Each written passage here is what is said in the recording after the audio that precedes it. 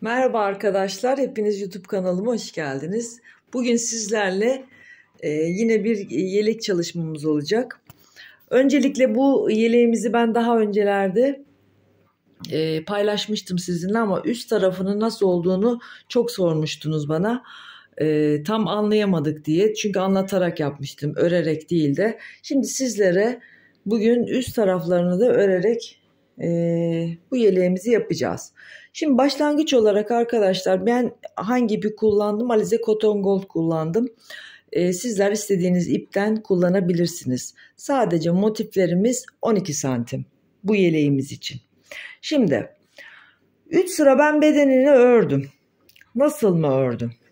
Başlangıç olarak buradan başlıyoruz arkadaşlar. Motiflerimizi dizayn ediyoruz. Şu şekilde motiflerinizi dizayn edeceksiniz. Burası şöyle bir anlatayım. Burası ön. Önlere birer motif. Burası ikinci motiflerimiz e, koltuk altı boşluğumuz. Üç tane arkaya var. Tekrar bir koltuk altı. Şurası boşluğumuz. Burası da ön olacak. Arkada üç tane tekrar e, motiflerimiz var. Şu görmüş olduğunuz motifler de birbirine ön ve arkayı bağlayacak olan motiflerimiz yani omuza gelen motiflerimiz olacak arkadaşlar. Şimdi başlangıç olarak e, motiflerinizi tam 28 tane motifinizi 12 santimden yapıyorsunuz. Ördükten sonra birleştirme işlemini zaten daha önce göstermiştik. Böyle dizayn ettikten sonra böyle ekleyerek ip koparmadan geldik şuraya. Sonra böyle diğer motifimizi ikinci katı sonra üçüncü katı derken etrafını da dolanıyoruz ve şu köşeye geliyoruz. Bu köşeye geldikten sonra şimdi bunu anlatacağım size. Sonra bunu ekleyeceğiz. Geleceğiz buradan 3 taneyi ekleyeceğiz. Sonra gideceğiz diğer önü ve yukarıdakini ekleyeceğiz. Şimdi ben şöyle bir göstermek istedim arkadaşlar. Şimdi telefonumu sabitleyeceğim ve ekleme işlemine başlayacağız. Şimdi üst önde ayarladığım hemen bu başlangıçtaki ayarladığım yeri ters yüzü bize bakacak. Burada iki tane zincir çektik. Ters yüzü bize bakacak. Aldığımız motifin düzü bize bakacak. Yani iki tersler iç içe olacak şekilde böyle tuttuğunuzda ilmeğimizi alıyoruz. Hemen buradan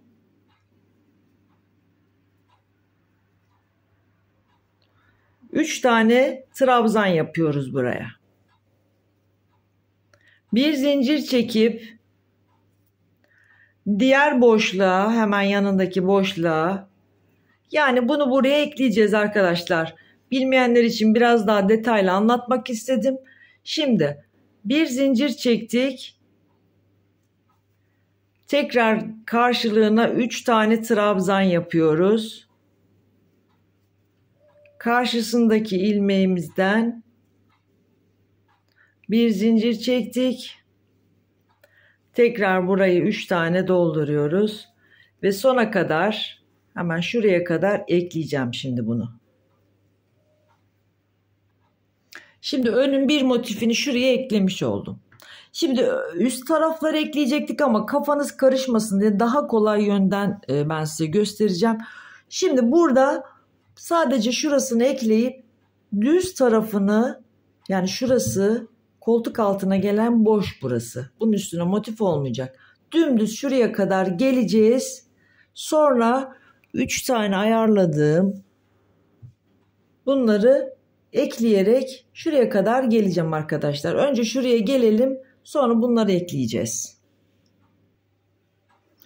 Örnek bozulmasın diye hemen buradan her bir burası koltuk altı boşluğumuz olduğu için her bir deliğe sık iğne yaparak ilmek almadan karşı tarafa doğru geçiyorum. Bu koltuk altı boşluğumuz.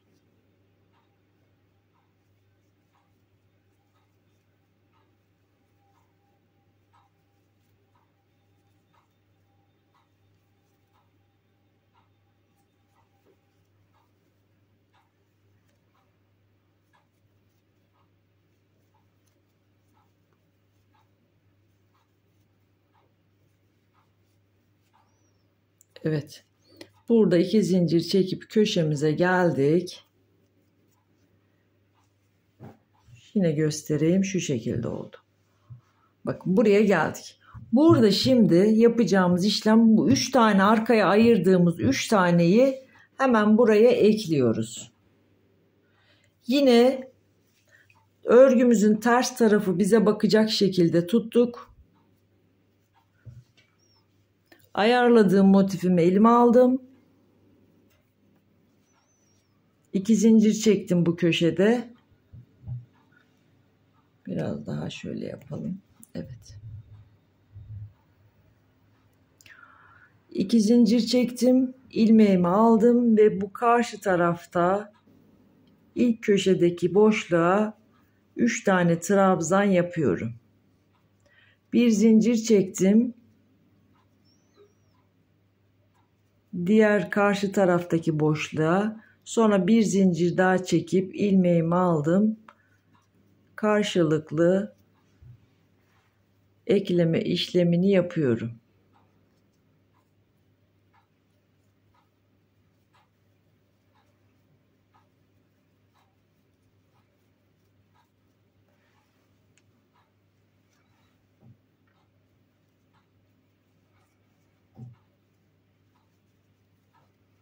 Bakın.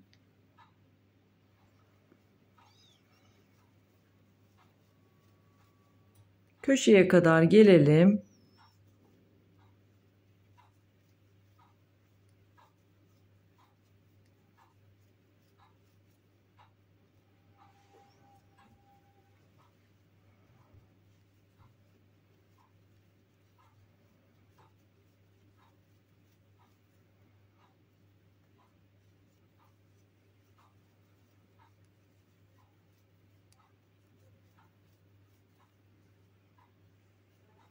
Son köşemize geldik. 3 tane trabzan yaptık burada. Sonra 2 zincir çekip tam köşenin ortasına ilmeksiz bir şekilde sabitledik. 2 zincir çekip şimdi yukarıya doğru dümdüz geleceğim. Diğer motifimi buraya eklemek için. Şu şekilde.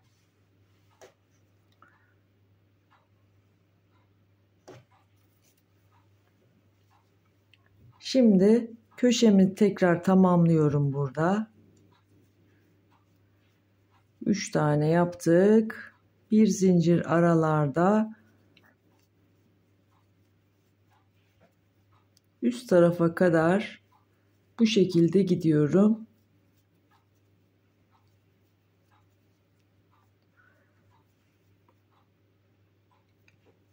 Ne yaptım yine göstereceğim size üste geçeyim. Eklemeyi bilenler zaten e, kolaylıkla yaparlar arkadaşlar ama bilmeyenler için biraz daha detaylı göstermek istiyorum ama zaten ip koparmadan birleştirme videolarımız da var.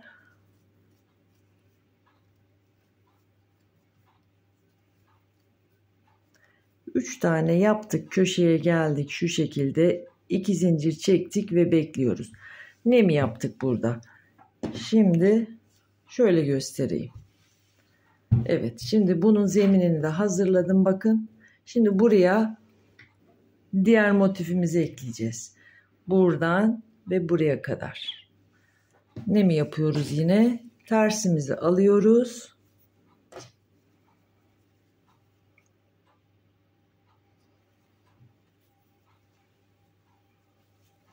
İki zincir çekmiştik ve ters tarafı bize bakıyor. Şu şekilde düz tarafı bakacak. Bu zemin. Zeminsiz hiç e, birleştirme olmaz arkadaşlar. Her zaman bir zemininiz olması lazım karşıdaki motifi ekleyebilmeniz için. 3 tane dolduruyorum. Köşeleri hep 3 tane yapıyoruz. Sonra gittiğimiz zaman köşelerin e, tamamını öbür sırada bitecek, tamamlamış olacağız. Buraya da bunu ekliyorum yine. 3 tane dolgu yaptım. Bir zincir çektim karşılıklı.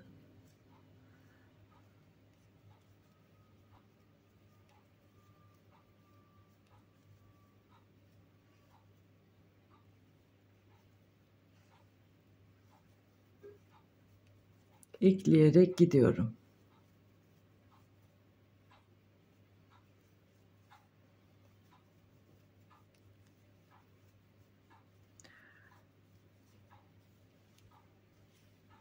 Şöyle göstereyim yine. Buraya geleceğim. Köşeye ekleyeceğim. Şuraya kadar gelelim arkadaşlar ekleyerek. Şu şekilde arkaya da birleştirdim ikinciyi. Şimdi köşeye geldik. Bu yukarıya çıkacağız yine. Şuraya kadar. Sonra diğer motifimizi ekleyeceğiz. Aynı buradaki yaptığımız işlemi buraya kadar geleceğim şimdi. Birlikte gelelim isterseniz. Tam 28 tane motiften oluşuyor bu arkadaşlar. Tabii ki alt e, etek ucuna birer sıra daha yaparsanız diğer göstermiş olduğum yelek modeli gibi 35 motiften olmuş olacak.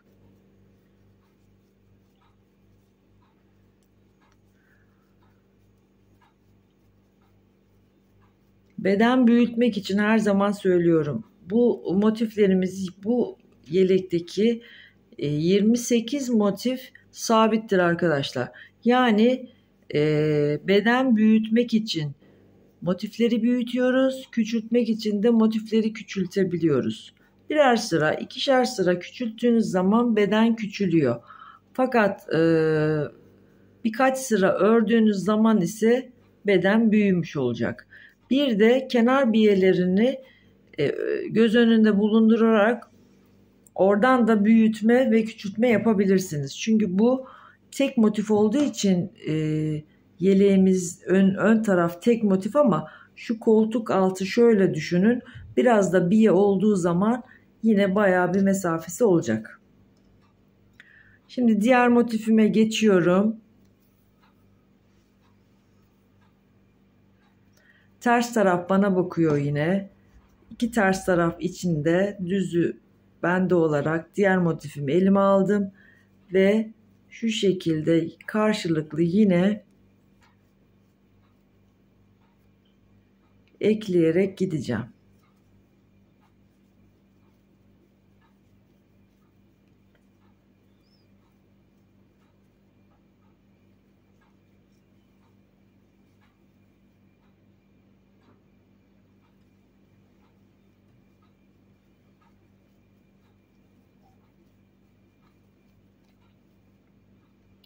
Bu motif bu yeleğimizin her tarafı motifli.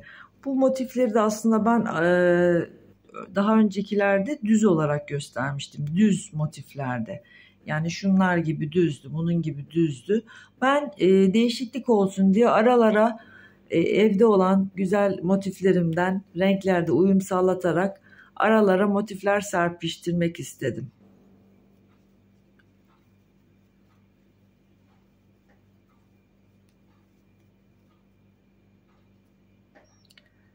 Şimdi bu motifimizi ekledikten sonra yukarı tarafa çıkmayıp koltuk boşluğundan direkt karşıya geçeceğiz.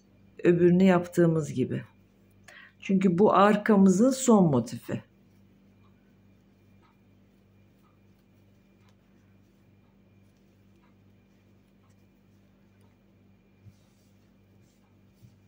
Şöyle göstereyim yine. Şuraya gelince bırakacağım. Buraya gelmeyeceğiz. Buraya geleceğiz. Buradan da şurası kol boşluğumuz yine sık iğneyle yani burası model bozulmasın diye sık iğneyle şuraya geleceğim. Sonra ön tarafı motifini birleştireceğiz. Koltuk altı boşluğumuzdaki şurası ön. Koltuk altı boşluğumuzda da köşeye kadar sık iğne ile geldim. Yani şöyle bakın tam köşeye geldim. Burada iki zincir çekip diğer ön için ayırdığım motifimi buraya ekleyeceğim şu şekilde.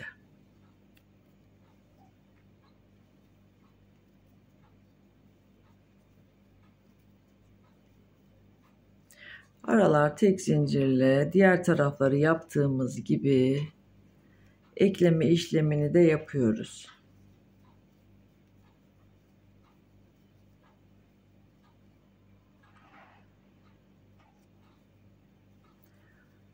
Koparmadan motif nasıl eklenir bu videonun altına da linkini atacağım.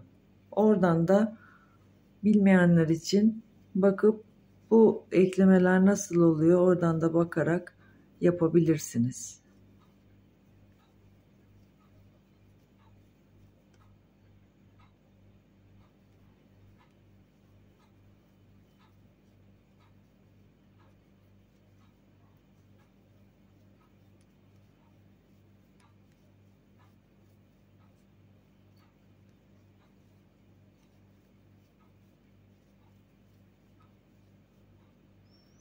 Sona geldik.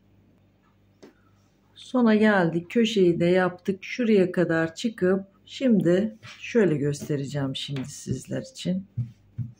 Şimdi her zaman birleştirmeden sonra bir zemin ayarlamak için bu şekilde bütün etrafını şöyle şuraya kadar yani şuraya kadar çevreleyerek geliyoruz. Nasılmış şimdi göstereceğim yine size. Omuzlardaki motifler hala gelmedi. Onlar duruyor. Şimdi bütün ördüklerimizin çevresine bu şekilde 3 tane trabzan yaparak hepsinin üstlerini geçiyoruz. Şöyle göstereyim. Yine köşeleri yapacağız. Köşeler de olacak. Şöyle şuraya kadar gelelim. Evet çevresini köşelerimizde yaparak şu şekilde geldim. Yine koltuk altındayız. Şöyle göstereyim yine. Koltuk altındayız. Yine sık iğneyle geleceğim. İplerimizi kırmamak için bu sık iğneleri gidiyorum arkadaşlar.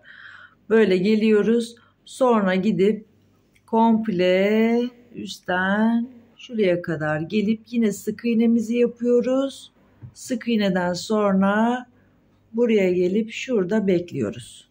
Yani bu tüm çevresini şöyle göstereyim.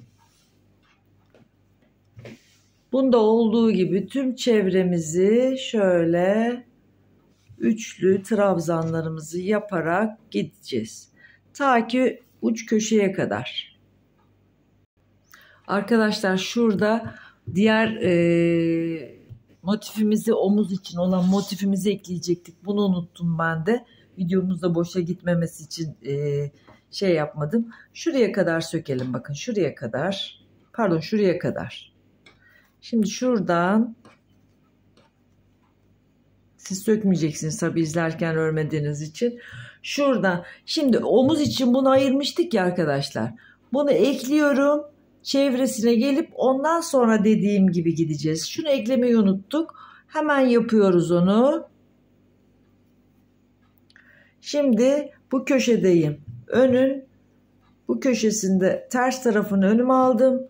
Bunu da şöyle tuttum. Bunu bir kenarını sadece bir kenarını ekliyoruz.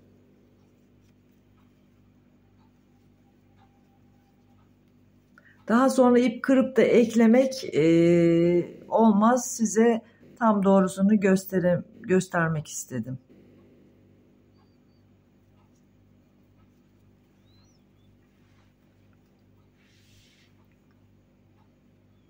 Şimdi üçlü trabzanlarımızı tam burasını yaparak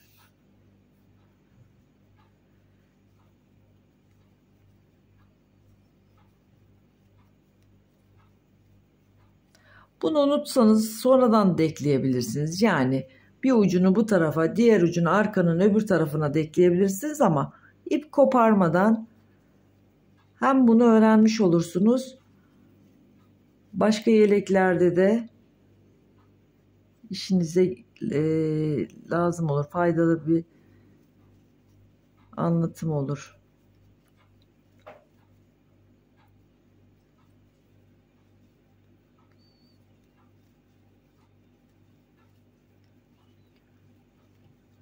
Şimdi köşeye kadar geldim.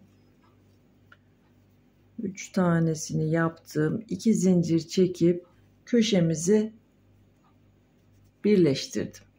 2 zincir çekip sonra bakın şimdi çevresine yapıp gelelim şuraya kadar. Burası omuz kısmı.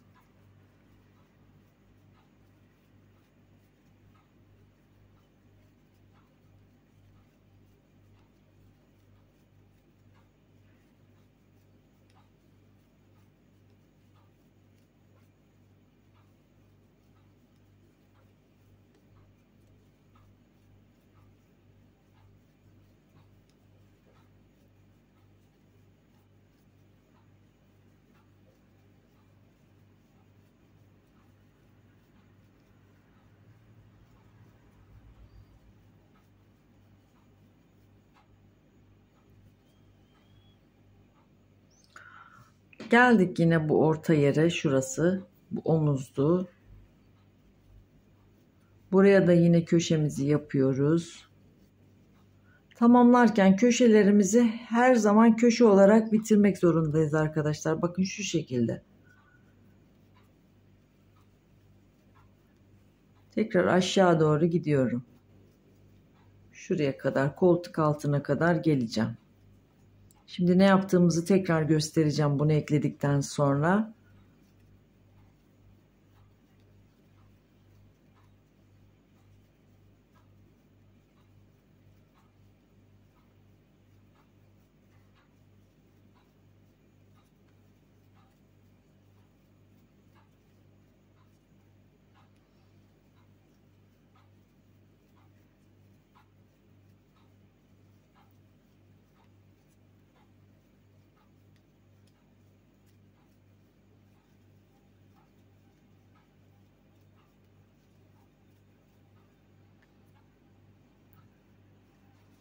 Şimdi köşemizi yaptık. Son köşemizi burada. Yani bu tarafın son köşesiydi. İki zincir çekip köşeye bağladık. Şöyle bir zincir çekelim. Şimdi bakın. Burası ön. Şunu da buraya bağlayacağız arkadaşlar. Yani şurası da kol evimiz olacak. Burası omuz olmuş olacak. Şimdi burayı nasıl yapacağız? Şu koltuk altındaki boşluğumuzu yine sık iğne yaparak buraya geliyoruz. Sonra şuraya kadar çıkalım. Tam arkamızın üst köşesine doğru. Bunu yine sık iğne ile geçiştiriyorum. İp koparmamak için düz bir şekilde gidiyorum. Şimdi şuraya kadar da gelelim.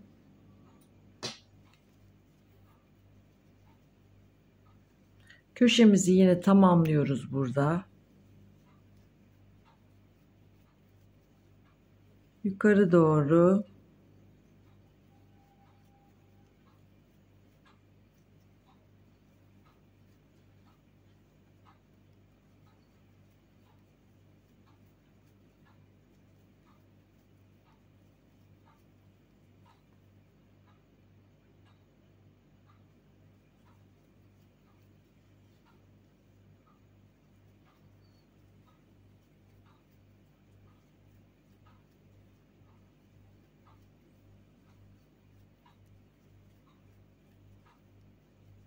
köşeye geldik.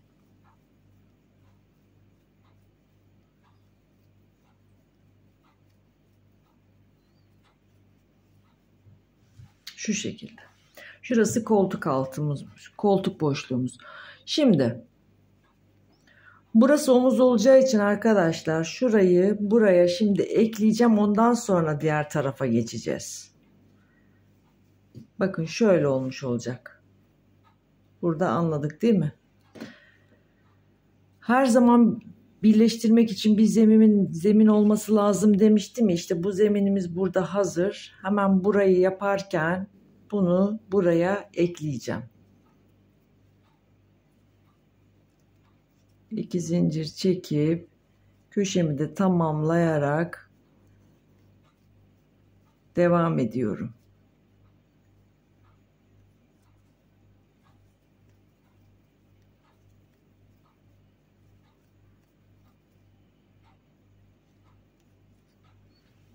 Ne yaptığımızı görmek için şöyle göstereyim size.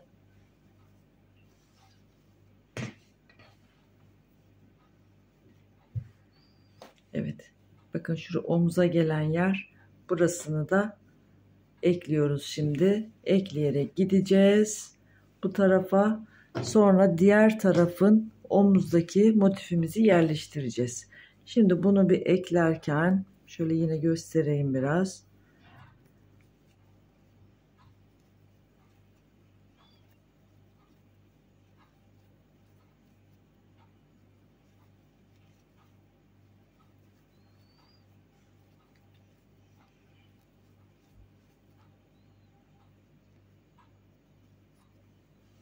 Bakın bu şekilde oldu. Şurası omuz olacak. Burası koltuk. Bunun zaten çevresine ee, birkaç sıra bu ister delikli ister e, trabzan sık trabzan örerek zaten birkaç sıra örerek şuraya kadar neredeyse kapanmış olacak koltuk altımız.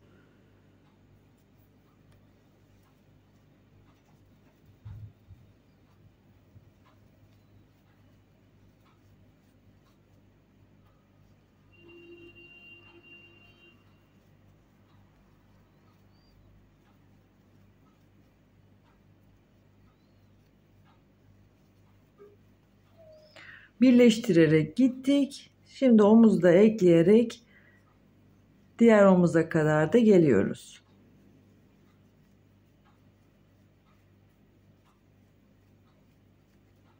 Şimdi son köşemizi de ekledik. 2 zincir çektim ve şu köşeye bunu sabitledik. 2 zincir çekip bıraktım. Şimdi bakın burası omuz. Bakın şu şekilde oldu. Yeleğimiz ve şimdi şurası yakamız. Yani ense kısmımız. Buraya kadar geldik. Sonra bu diğer omuzumuzun yani şunun arka tarafı diğer birleştireceğimiz yer. Burayı da yapacağız. Çünkü burada zemin yok. Bunu gideceğiz, geleceğiz. Ta ki diğer tarafa diğer omuzu birleştireceğiz oraya. Şimdi burayı dümdüz bu zeminlerimizi bitirelim. Koltuk altımızı da zaten sık iğne ile yapacağız. Geleceğiz. Bu motifimizin üstünde de diğer motifi ekleyeceğiz. Burayı yaptım. Buraya geldim. Bu sık iğnemi de yapıyorum. Şuraya geldik. Şuraya kadar örelim arkadaşlar. Evet bu köşeye kadar geldik. Şimdi bunu zeminimiz de hazırlandı. Şimdi bu motifimizi buraya ekleyeceğiz. Geleceğiz. Şöyle göster. Şuraya ekleyeceğiz. Buraya geldik. Bu zemini de oluştururken arkadaşlar şu köşede diğer arka tarafa yani omzumuzu birleştireceğiz. Şimdi yine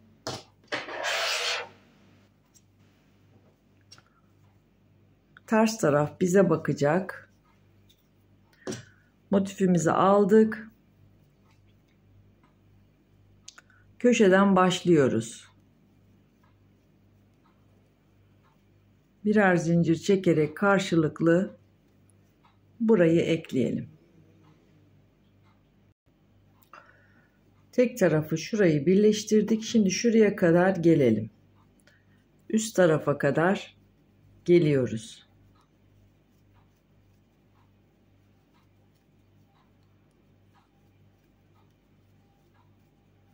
Yani burası şöyle birleşeceği için burası kol evimiz.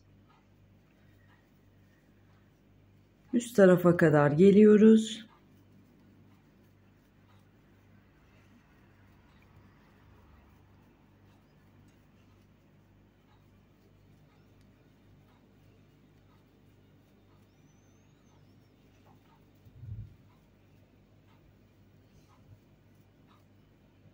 Biraz hızlı geçiyorum bunları zaten biliyoruz arkadaşlar. Köşeye geldik. 3 tanesini yapıp 2 zincir çekiyoruz ve zeminimiz var burada. Hemen bunu şuraya birleştireceğiz. Şu şekilde. Diğer tarafta yaptığımız gibi. Bakın şurayı omuzu birleştirdik. Şimdi omuzu birleştiriyoruz. Şurası ensemiz zaten. Burası omuz. Bunu alıp diğer köşemize ekledik. Karşılıklı olarak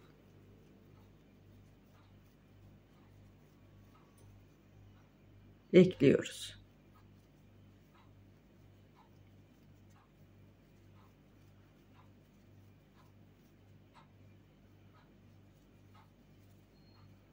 Bakın burada da kolemimiz hazırlandı. Şimdi sona kadar gelelim.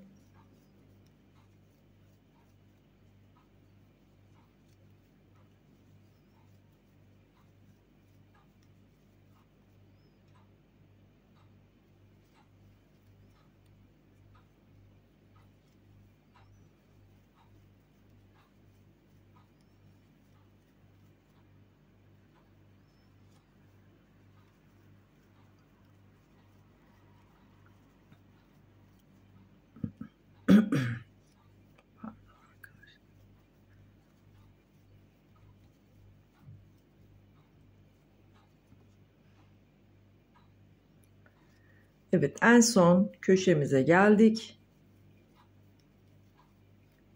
İki zincir çekip köşeyi köşeye ekledik. İki zincir çekip köşemizi tamamlayalım. Burada.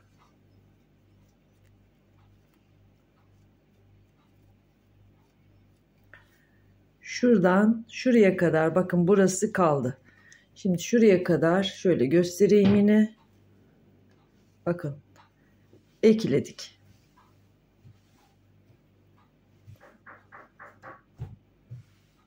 Yeleğimiz hazır.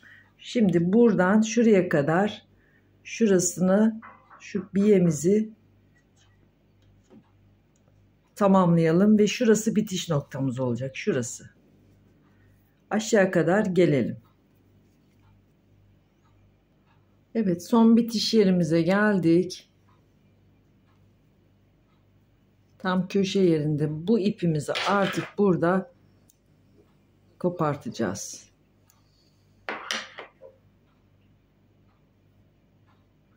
Bunu kaybedelim sonra. Şimdi şöyle bir genel bir görünüm yapacağım sizlere.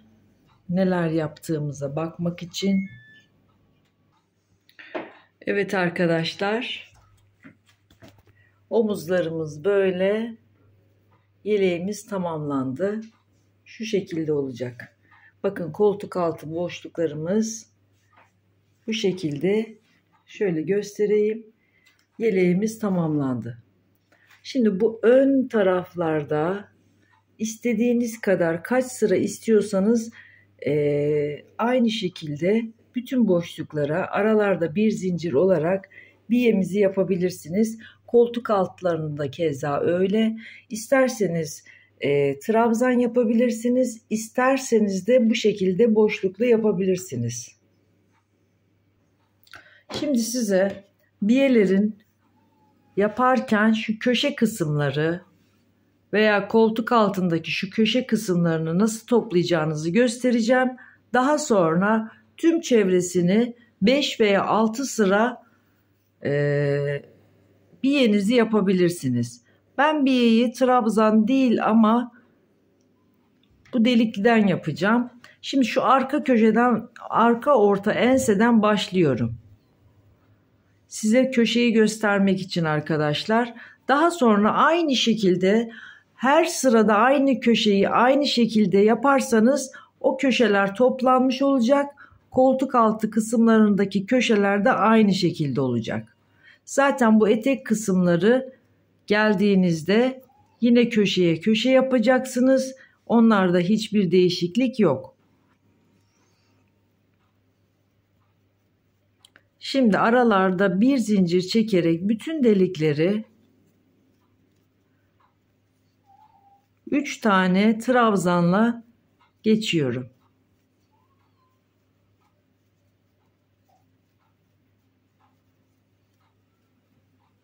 Şimdi köşeye geldik değil mi arkadaşlar?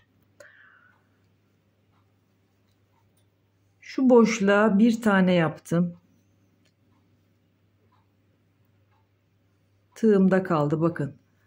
İki tanesini çekiyorum. Gerisi tığda kaldı. Yine ilmek aldım. Şu diğer boşluğa da aynı şekilde trabzan ikili yaptım. İki tane daha aldım. İki tane daha aldım. Üç tane oraya, üç tane oraya fakat çekmedim. Bunların hepsini birden çektik. Bir zincir çektim. Diğer tarafa devam ediyoruz. Bakın köşe yerlerini böyle yapabilirsiniz toparlamak amaçlı. Bakın şu şekilde. Bütün şu köşe zaten bir ensede köşe var bir de burada köşe var. Bakın şurada. Diğer taraflar düz şekilde gideceksiniz. Köşeler bir burası bir burası bir de koltuk altındaki köşelerimiz var. Siz nasıl e, isterseniz öyle yapabilirsiniz. Ben bu şekilde yapacağım. Şimdi bunun üstüne gittiğiniz zaman da şurayı örüyorsunuz. Şurada toplama yapıyorsunuz şununla şurayı. Yani örerken orada bir potluk olmasın diye. Şöyle göstereyim. Bu şekilde arkadaşlar bütün çevreyi 5-6 sıra örüyoruz. Ben şimdi örsem e, tabii ki videomuz e, çok uzun oldu yetmiyor. Köşeyi de göstermiş oldum sizlere. E, eğer ki trabzan yapacaksanız da aynı şekilde burada bir 6 tane toplama yaparsanız buralar toplanmış olur. Yani burada komple giderseniz şuralarda bir e, kiloş hoş durmayan bir görünüm olur. Onun için toparlayarak o köşeleri gideceğiz. 6 sıra veya 7 sıra onlar sizin artık zevkinize isteğinize kalmış. Yeleğimiz bu kadar arkadaşlar. Umarım güzel bir anlatım olmuştur.